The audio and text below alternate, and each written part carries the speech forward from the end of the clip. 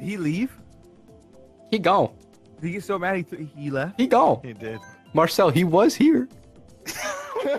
but now he Now gone. he gone.